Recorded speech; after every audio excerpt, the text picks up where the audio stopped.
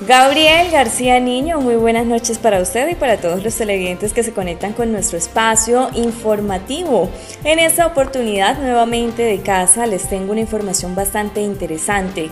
Desde horas de la noche del día anterior, en horas de la madrugada y en el transcurso de este martes, se ha sentido un olor bastante ofensivo para la comunidad que ha generado gran preocupación ante la crisis mundial que se vive y asimismo pues de dónde viene, de dónde es procedente este olor y asimismo esa capa oscura que se ve en el aire, que se ve como si fuera una neblina, pero no lo es, que se ve como si fuera una bruma. Pues aquí tenemos más información con el director de Corponor del Departamento Norte de Santander.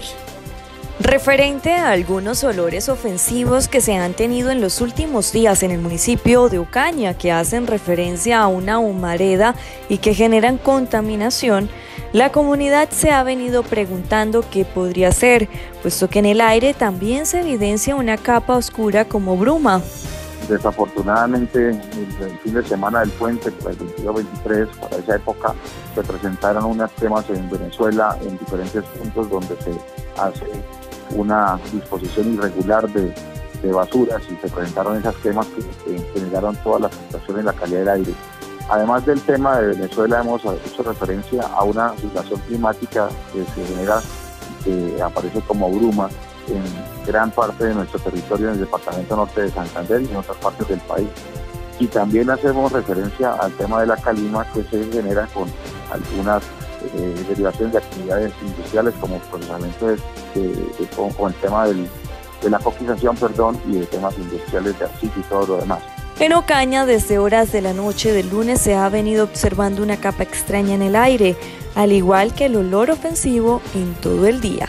Lo que más está alarmando a la gente es ese olor tan complejo que eh, aparece especialmente en las horas de la madrugada y esperamos poder dar un informe a la mayor brevedad con el mayor gusto. Son estas afectaciones en la calidad del aire, las cuales generan gran preocupación en la ciudadanía frente a la situación que se vive a nivel mundial.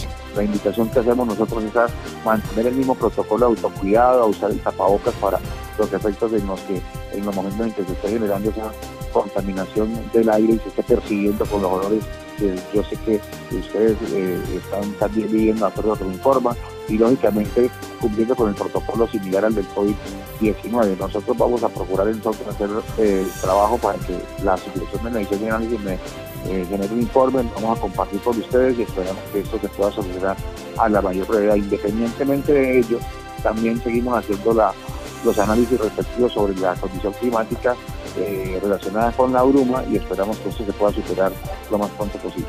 Por consiguiente, se espera reacción oportuna de parte de las autoridades ambientales, puesto que los olores ofensivos continúan al igual que la capa oscura en el aire. Es esta la información que les tenía a esta hora de la noche, una información de interés para todos ustedes, nuestros televidentes, aquellos que siempre están conectados con el canal comunitario TV San Jorge. Gabriel García Niño, continúe usted con más en estudio sobre todo recordémosle a los televidentes tener responsabilidad, respeto, conciencia ante la pandemia mundial que se vive en estos momentos en todo el territorio. Es alarmante esta cifra que se tiene, donde ya tenemos más de 900 casos confirmados en Colombia. En realidad es preocupante, por eso invitamos a la ciudadanía para que acatemos las medidas preventivas decretadas por parte del Gobierno Nacional. Feliz noche.